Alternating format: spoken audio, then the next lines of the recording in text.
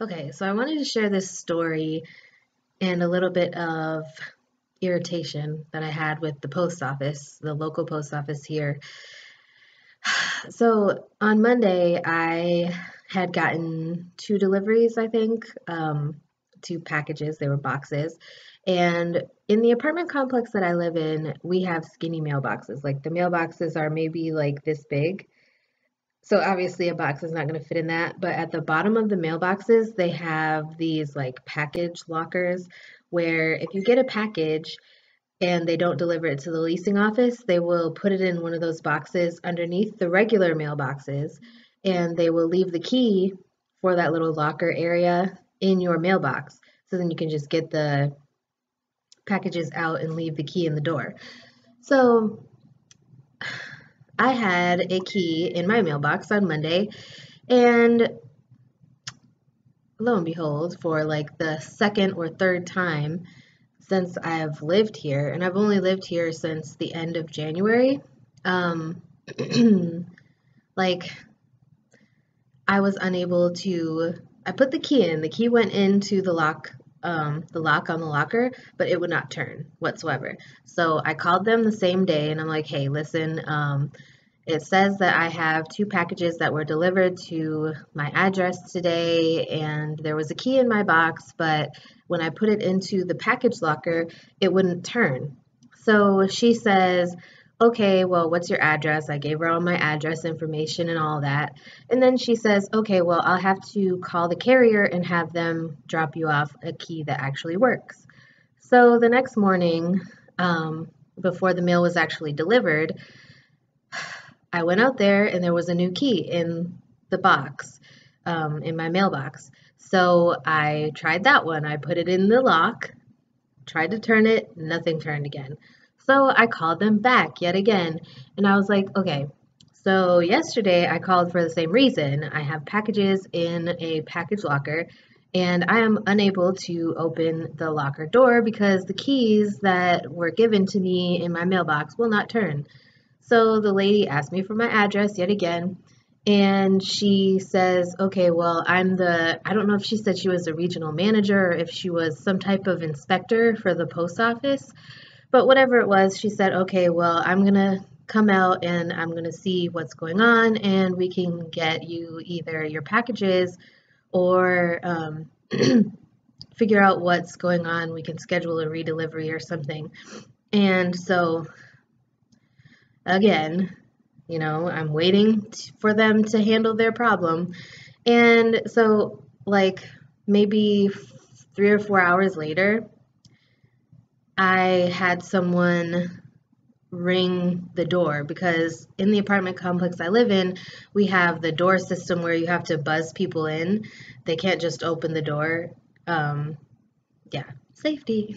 Um, so I buzzed the door to let them in because I looked out the window in the kitchen and I saw that it was the mail, um, the post office. And so I buzzed the door, Nobody opened the door. I buzzed the door again. Nobody opened the door again. So I buzzed the door a third time and nobody answered the nobody opened the door. So I'm like, okay.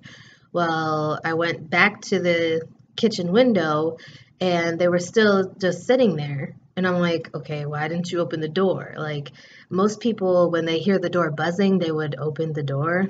Um, but you know, so I hurried up and put my shoes on because it looked like they were getting back in their car to leave.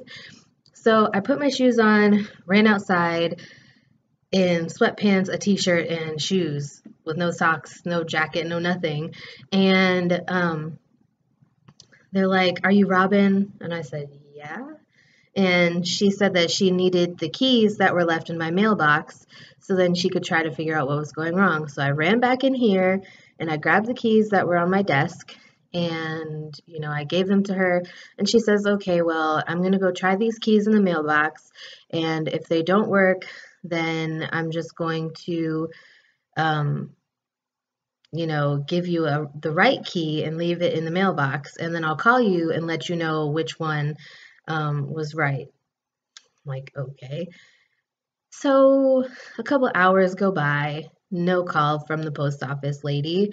And so I just decided, you know what, what the heck, I'm just going to go to the mailbox and I'm going to try to open the door for myself because I really wanted my packages. Um, one was a loot crate, and then I had another Gwynnie Bee shipment, and then there was another box in there.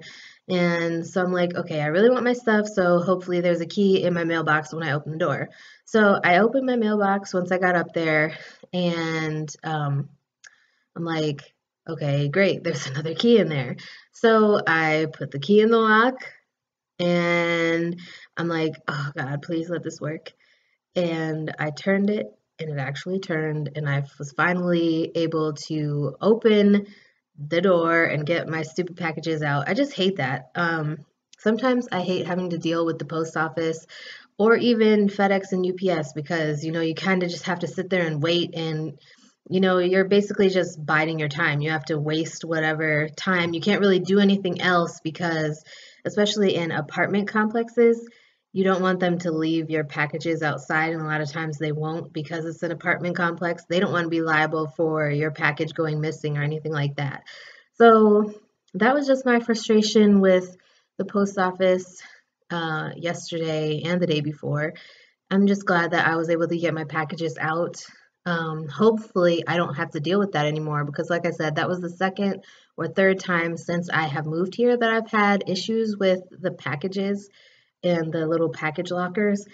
Um, and like I said, I've only lived here since the end of January, so hopefully that's not a sign of things to come.